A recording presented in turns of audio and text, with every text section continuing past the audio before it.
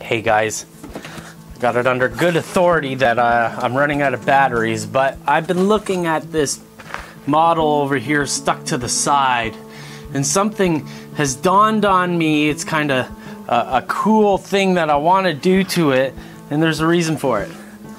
I've I've lost a whole bunch of the insert pieces that came with this model, and I've put them all the way around on the other sides. So I was thinking to myself, well, what happens if I cut out a square of this and then I'm able to go in there and really film different things and or uh, you know finish the modeling in a in a nice way with the model up up uh, on the table, you know, because it is removable. But uh, so I just figured I'd get in here and just throw caution to the wind and start cutting things out here.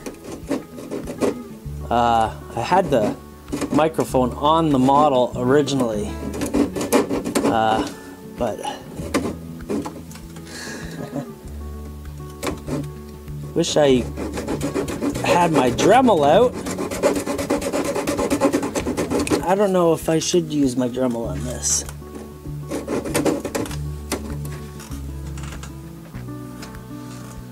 Uh, so we'll continue down here and then cut here, cut here, and continue down here and cut this section out and we'll be right back when I'm done that. Well, there you have it.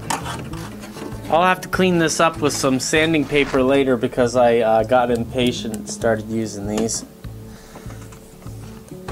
And also found little piece of uh, stiffener here that I had placed in here. So I'm gonna have to uh, cut this little piece out on the edge and put a kind of like an I-beam across here to make it look right I guess.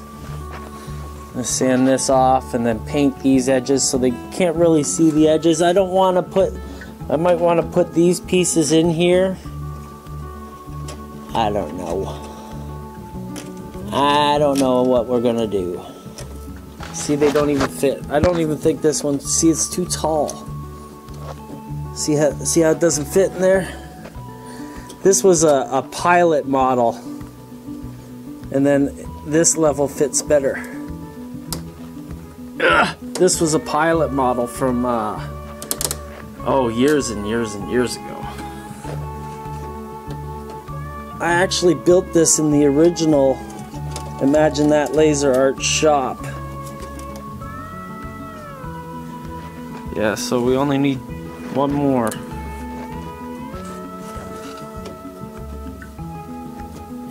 There we go. One more for the top.